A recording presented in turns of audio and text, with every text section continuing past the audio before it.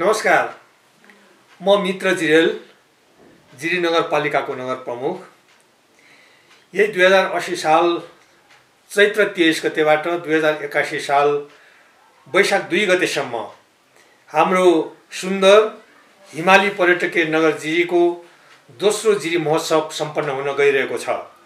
यस सन्दर्भमा म सम्पूर्ण छिमेकी पालिकाहरू विभिन्न जिल्ला र देशभरिका दाजुभाइ दिदीबहिनीहरू आमा बुबाहरूलाई हाम्रो सुन्दर नगरी जिरीको त्यो जिरी महोत्सवमा आउनु भई यहाँको मौलिक संस्कृति मौलिक वेशभूषा मौलिक धर्म संस्कृति यहाँको मौलिक खानपिन र यहाँको राजनीतिक सहकार्यको अनुगमन गर्न यहाँको अनुभव लिन र हाम्रो सुन सुन्दर भूदृश्यहरू विविध पर्यटकीय गन्तव्यहरूको अवलोकन भ्रमण गरी भरपुर मनोरञ्जन लिइदिनु हुनको लागि आग्रह गर्दछु म सम्पूर्ण दाजुभाइ दिदीबहिनीहरूलाई हाम्रो जिरीमा स्वागत गर्न आतुर रहेको कुरा जानकारी गराउन चाहन्छु। धन्यवाद।